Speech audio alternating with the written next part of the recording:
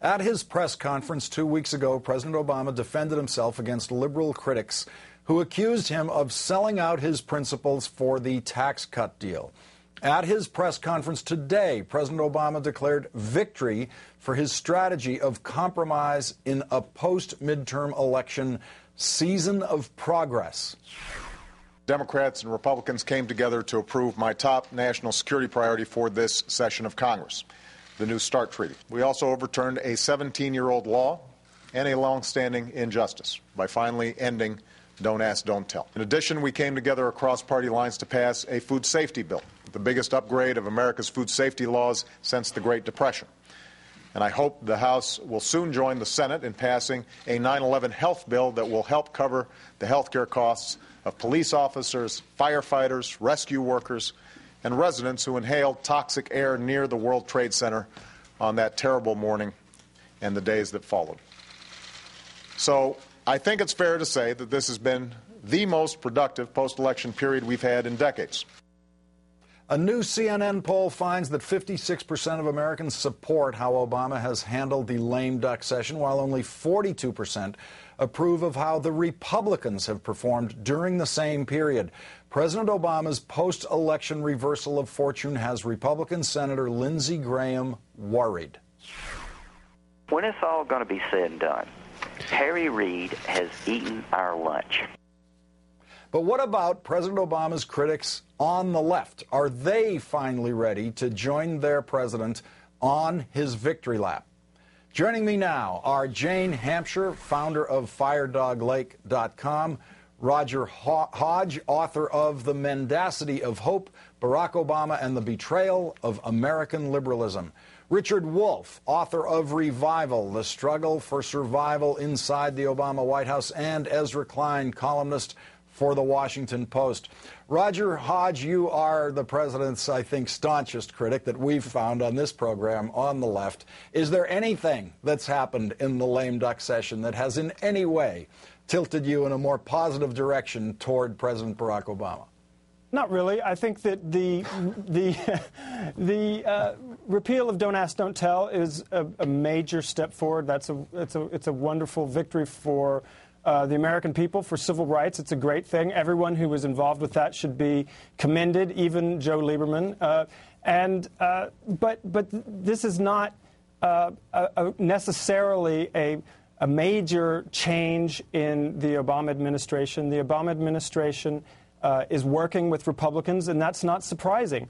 Uh, the Obama administration has a lot in common with the Republicans. Uh, the Obama administration is still poised to suggest cuts in Social Security. There are reports that uh, the president is planning uh, to introduce an austerity plan in his State of the Union address uh, that would preempt cuts demanded by the Republicans uh, in the next session of Congress. So I think in a few months we may have, we will probably have forgotten all about this extraordinary lame duck session and will be fighting for uh, the remnants of the New Deal uh, going forward. So, Roger, let me get this straight. You have a kind word for Joe Lieberman tonight, but nothing positive to say about Barack Obama. No, I do. I think that he deserves all due credit for helping get this passed. I mean, he's had he had an extraordinary session, but really, my concern is not with these. Uh, uh, ephemeral fluctuations in momentum and popularity. My concern really is with basic principles and protecting what little we have left of uh, a social safety net in this country. Jane Hamsher, uh, before we get to you, let's listen to what President Obama said today about the disappointed left regarding his uh, tax cut deal on the tax rates for the wealthy.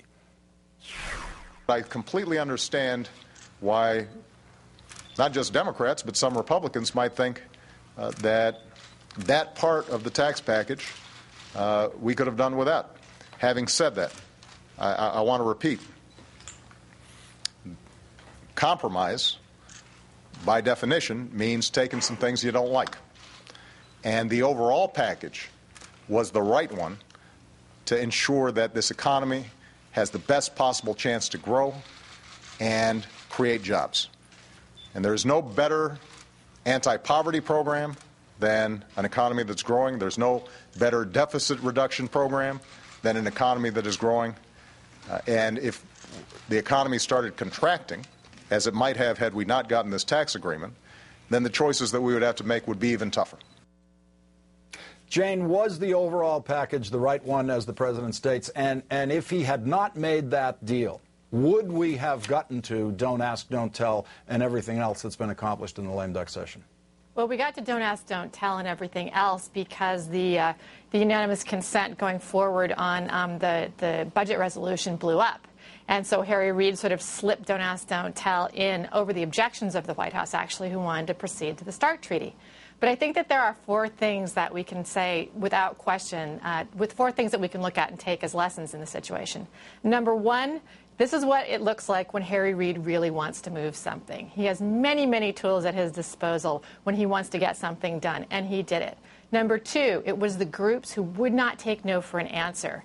GetEQUAL, the 9-11 healthcare, you know, the, the first responders who came here, who demonstrated, who chained themselves to the White House, who followed the president around and heckled and absolutely would not say, take no for an answer, who got their issues addressed. Number three, you've got, we finally see what it's like when a man with public opinion at his back grabs the bully pulpit, goes out, and tries to shame the Republicans into agreeing to something that is broadly popular. Unfortunately, that man's name is Jon Stewart, and that's why the 9 11 health care bill got passed. And number four, and I think this is the most important part, we saw Don't Ask, Don't Tell uh, the food safety bill, 9 11 health care, and the unemployment uh, extension, all of which were extremely popular with the public, between 65 and 80 percent popularity, are the things that people are celebrating today. And what can we say about all of those things? Those are liberal things. Those are liberal agenda. They are not, by definition, to the left because with 65 to 80 percent support, they are centrist. That's where the country is. So the things that liberals have been telling the president to do are popular. And the response that the country has today to these bills prove that that is something that he will actually reap a whole lot of popular support for if he actually gets out there and fights for things like this. Ezra Klein, let's go to Jane's first point, which is that maybe Harry Reid deserves more credit than anyone else in what has been accomplished in this lame duck session. I think I might be leaning toward Jane on that one. How do you see it? Harry Reid deserves a lot of credit for what happened in Slam Dunk Session, and by the way, for what's happened over the past two years. He's held he's held a lot of Democrats together on a lot of tough votes for them. As annoying as it's been at times, I don't think anybody's been more successful at keeping his caucus together with that large of a majority than, than he has. But I think we do actually have to spare a word here for the Republicans. These things wouldn't have gotten done, a lot of them, like the food safety bill. Unanimous consent means that the Republicans didn't say no. And what happened with a lot of these different bills, and I, I think this is interesting, is that a lot of these establishment Republicans Republicans, these guys on the START Treaty like Lamar Alexander, and the moderates on DADT like Collins and, and Brown, I think they realized that if they didn't get this stuff done now, when their colleagues came in in 2011, they weren't going to get it done. These new sort of conservative revolutionaries in the House and even in the Senate were not going to go back to sensible legislation that wasn't passed because of the election and get it through. So I do think there was an odd moment where these folks who had stood with McConnell when they needed to do that in order to win the election said, listen, we're not in an election right now. We got a month here. And they did it. They moved food safety. They moved defense authorization. They moved don't ask, don't tell. They wanted to legislate. Legislating isn't as powerful to them as getting reelected, getting back into the majority, but it is more powerful to them than doing nothing at all. And so a lot of this does go to, to some of them. It's a shame we can't see more of that public spirit more often.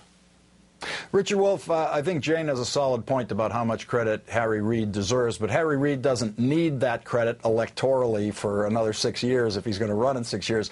Barack Obama needs the credit right now as he begins the reelection cycle for the presidency. And in the polling we're seeing now, it looks like he's getting that credit.